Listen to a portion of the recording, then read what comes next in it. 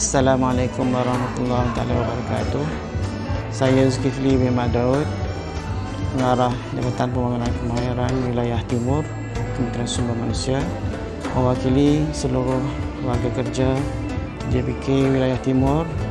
Hari ini mengucapkan selamat Hari Raya Aidilfitri. Maaf zahir dan batin. Sekian, terima kasih.